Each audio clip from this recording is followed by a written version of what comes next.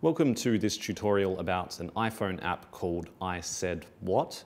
It's a high quality audio recording app and it also features a very capable audio editing uh, component as well, which I will discuss in a subsequent tutorial video.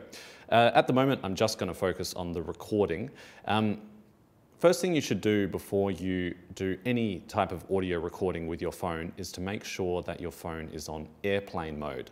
Why? Because otherwise you might get calls or messages that interfere with the operation of the app and also might interfere with your audio recording. So first thing, turn on airplane mode, very important.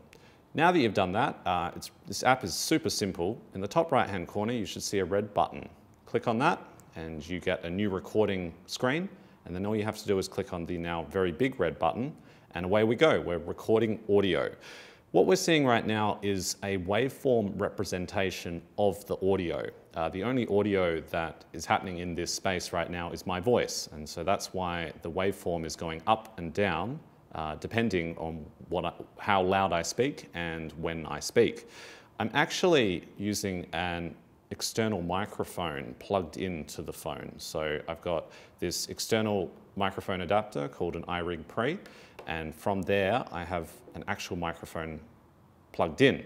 So I'm going to move this microphone right under my mouth now, so you can really see, see how the waveform is getting quite large there.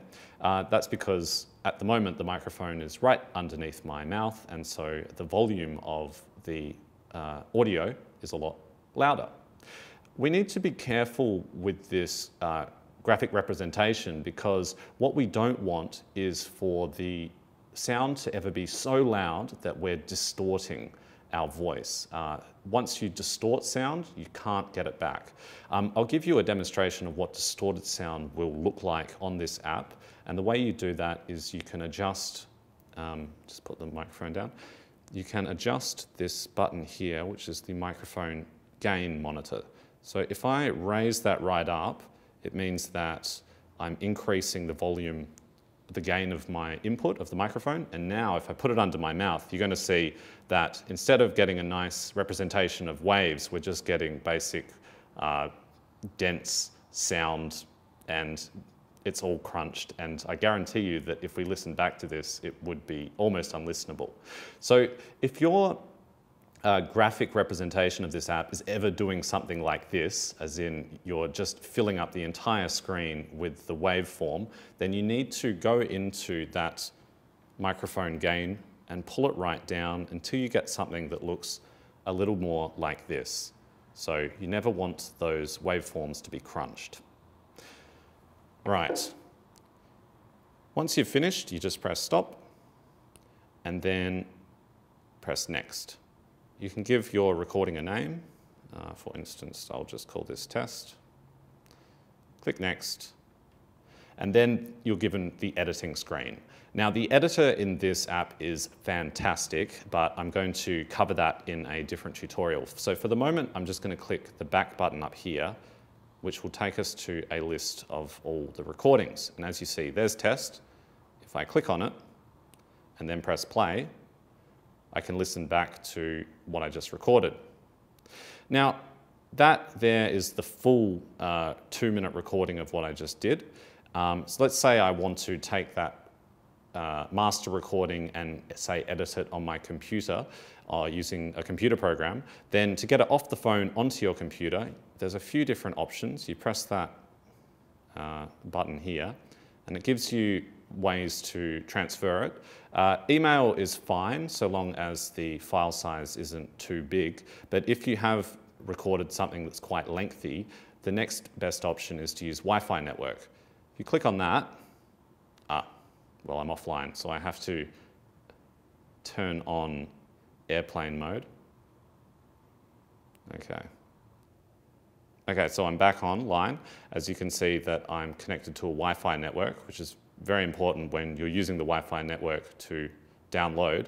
And then you're going to be given a web address, just a whole bunch of numbers. But if you type that web address into a computer, it's going to download the file that you just recorded as a .wav, a .wav file, uh, which is a high quality file that then you can edit on your computer. And I will show you how to do this in one second. Okay, so what I have just done is I have typed in the website address that the app gave me uh, in order to download my uh, audio file using uh, Wi-Fi network. So once you've typed in that number correctly, you just press enter and it'll automatically download the .wav file. Um, you can then do whatever you want with it, open it, edit it in another program, etc. Now, the final thing that you need to be aware of when you're using your smartphone to record audio is how to hold it correctly. Obviously, if you're using an external microphone like I am, you don't want to hold the microphone too close to the mouth because uh, it will be too close and you'll get that distortion or peaking that we saw in the graph waveform on the app. Um, so hold the microphone a bit further down, not too far away either, but just about there is correct.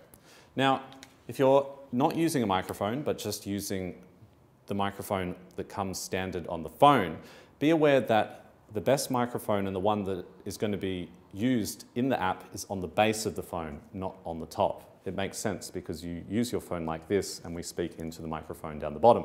So microphone's at the base, which means that doing an interview, you flip your phone around upside down and hold it underneath the interviewee's mouth like so. Again, don't hold it too close because you'll get that peaking, but down about there is about right.